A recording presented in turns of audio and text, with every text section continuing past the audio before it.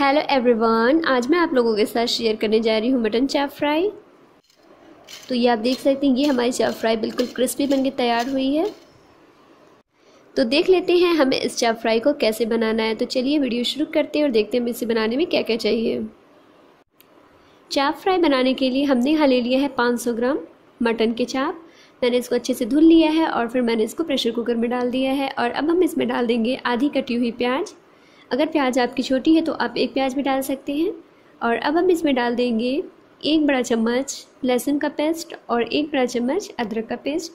और half cup हम पानी डाल देंगे और इसमें हम प्रेशर लगवा लेंगे इसकी। हम इसको आठ से नौ मिनट मीडियम फ्लेम पे पकने देंगे।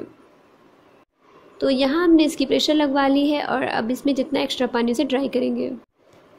चाप को कोट करने के लिए मैंने यहाँ ले लिया है एक कप दही, यानी यहाँ मैंने 200 ग्राम के करीब, दो से ढाई सौ ग्राम के करीब मैंने यहाँ दही ले ली है, अच्छे से इसे बीट कर लिया है और अब इसमें हम डाल देंगे एक तिहाई कप भुना हुआ बेसन और एक बड़ा चम्मच कॉर्नफ्लावर और एक चम्मच ही चावल का आटा और मसालों में हमने यहाँ ले लिया है नमक, अपने स्वाद के अनुसार डालेंगे हम और एक तिहाई चम्मच हम हल्दी पाउडर ले लेंगे, लाल मिर्चों का पाउडर, एक बड़ा चम्मच भुना हुआ ज़ीरे का पाउडर, एक बड़ा चम्मच धनिया पाउडर, एक बड़ा चम्मच चाट मसाला, एक चम्मच और कसूरी मेथी, एक चम्मच गरम मसाला पाउडर, एक चम्मच और ऑरेंज फ़ूड कलर मैंने ले लिया है, आधी पिंच के करीब और आधे नींबू का रस डालेंगे हम। तो सारे मसाले हमने यहाँ डाल दिए हैं। और अब हम इसमें आधे नींबू का रस निचोड़ देंगे और अब इन सारे मिक्सचर को हम मिक्स कर लेंगे। और अब हम यहाँ सारे मसाले को अपने हम दही में अच्छे तरीके से मिक्स कर लेंगे। तो यहाँ हमारे चाप का बैटर रेडी हो चुका है तो ये थोड़ा सा गाढ़ा लग रहा है। तो अब हम इसमें थोड़ा सा पानी डालेंगे। बहुत ज़्यादा नहीं, सिर्फ़ थोड़ा सा पानी डालें। अगर बैटर गाढ़ा हो तो नहीं तो फिर आप पानी का यूज़ बिल्कुल ना करें। तो अब यहाँ हमने इसे मिक्स कर लिया है। हमारा बैटर यहाँ रेडी हो चुका है डिप करने के लिए। तो अब हमने यहाँ जो सारे चाप के पीसेस लिए थे, इसे हम इसके अंदर डाल देंगे और इसे कोट कर लेंगे। तो यहाँ हमने इसे कोट कर लिया है अच्छे तरीके से। और अब हम इसे चलते हैं फ्राई करने। तो आप इसे पाँच से दस मिनट तक चाहें तो रेस्ट करने के लिए भी रख सकते हैं या फिर आप इसे तुरंत फ्राई भी कर सकते हैं। तो मैं इसे तुरंत फ्राई करूँगी।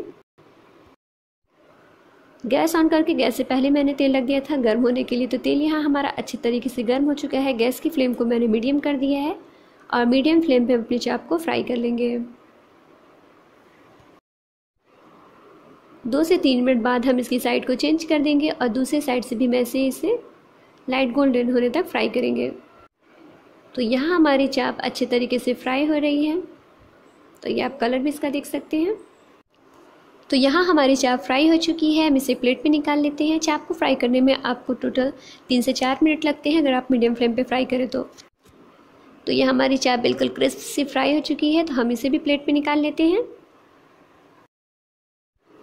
तो यहाँ हमारी मटन चाप बन के रेडी हो चुकी है। इसे बनाना भी बहुत आसान है और खाने में बहुत ही मज़े की लगती है। तो इस रेसिपी को एक बार आप ज़रूर ट्राई करें।